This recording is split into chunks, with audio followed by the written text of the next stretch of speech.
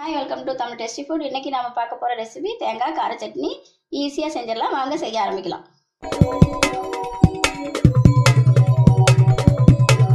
இப்போ செய்ய தேவையான பொருட்கள் என்னென்னு பார்த்துடலாம்.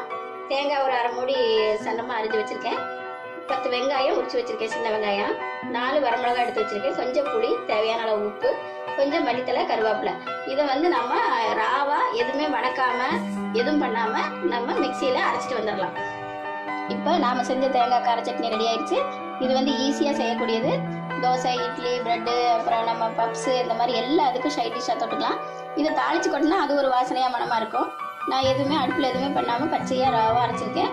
இது நீங்கள் செஞ்சு பாருங்கள் இந்த ரெசிபி பிடிச்சிருந்தா லைக் பண்ணுங்கள் ஷேர் பண்ணுங்கள் கமெண்ட் பண்ணுங்கள் சப்ஸ்கிரைப் பண்ணுங்கள் என்னோட அடுத்த வீடியோ பார்க்குறக்கு பெல் ஐக்கானை ப்ரெஸ் பண்ணுங்கள் தேங்க்யூ தேங்க்ஸ் ஃபார் வாட்சிங்